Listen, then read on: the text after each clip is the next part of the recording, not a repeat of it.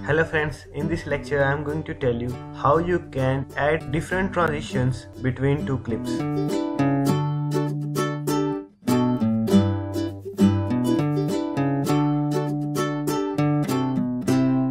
So let's get started. So friends, I have already imported my one clip in my media section. So simply I'm going to drag it on my timeline and now I'm going to zoom out and add this image after that. And now I'm going to zoom in. And now firstly I'm going to show you how it's look like.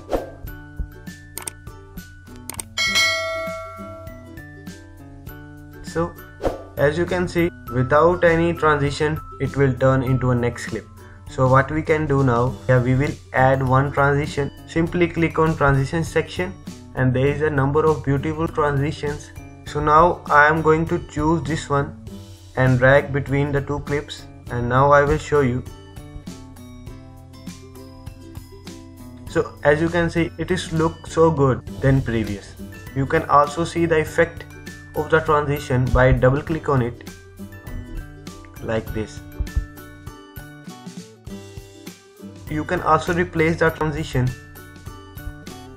like this.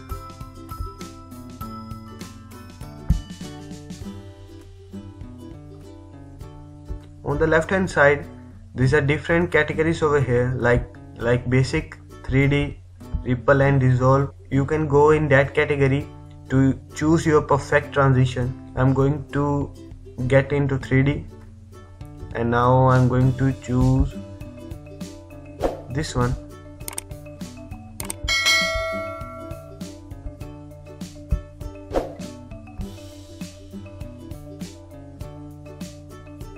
so as you can see this a look more amazing. You can choose this one as well.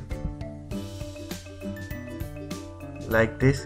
And one thing more guys you can increase the length of the transition by your mouse like this. You can also decrease and increase as well.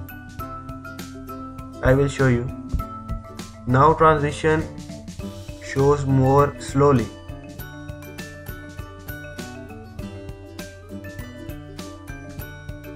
and this is the way you can add transition in your video I'm going to click on zoom to fit screen and now I'm going to add one more transition in that area Firstly, I'm going to cut that clip. I go in speed blur category and choose this transition. And now I will show you.